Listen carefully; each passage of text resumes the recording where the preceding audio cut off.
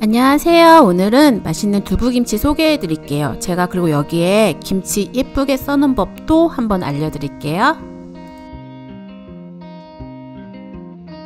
우선 잘 익은 김치 4분의 1 포기 꺼내주세요.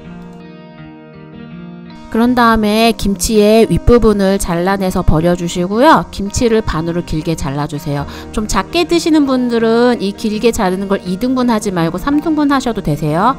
그 다음에 한쪽 면을 들어서 반대편으로 거꾸로 놓아주세요. 이렇게 놓고 썰면요. 김치가 예쁘게 썰려요. 먹기 좋게 썰어 주시고요. 얘를 이렇게 그냥 잡으면요 모양이 네모지게 예쁘게 잘 잡히거든요. 음, 두부김치로 쓸 분량만 빼고 나머지는 밀폐 용기에 예쁘게 담아준 다음에 이렇게 한 덩어리씩 꺼내서 사용하시면 좋으세요.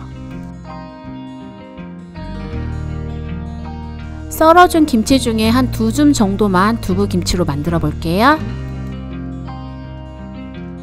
아, 우선 그 전에 고기도 좀 준비해 주셔야 되는데 삼겹살 한두 줄 정도면 되고요.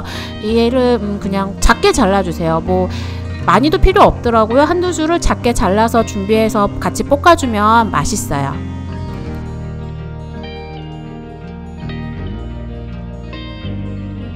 그런 다음에 볼에 담아서 양념해서 조물조물 버무려서 이제 볶기만 하면 되세요.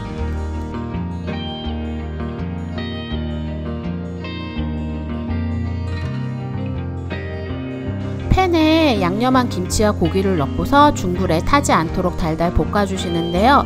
어, 불은 강불 안 하셔도 되세요. 탈 수 있기 때문에 중불 유지한 채 볶고 김치와 고기가 노릇노릇하게 익을 정도로만 볶아주면요. 두부김치에 쓸 볶음김치와 고기가 완성이에요. 두부 한 무 준비해주세요. 430g짜리 큰 두부고요. 이 두부는 팔팔 끓는 물에 한번 데쳐내주세요. 어, 데친 두부는요 먹기 좋게 썰어주세요. 약간 도톰하게 썰어주면 훨씬 그 먹는 식감인가? 아무튼 좋아요. 얇게 보다는 도톰한 게 낫더라고요. 그릇에 잘라준 두부를요 이렇게 차례대로 놓은 다음에 여기다가 깻잎 두 장 올려주세요 깻잎 위에 볶았던 김치와 고기를 다 올려주시고요. 맛있게 드시면 되세요. 그러면 맛있게 만들어서 맛있게 드세요.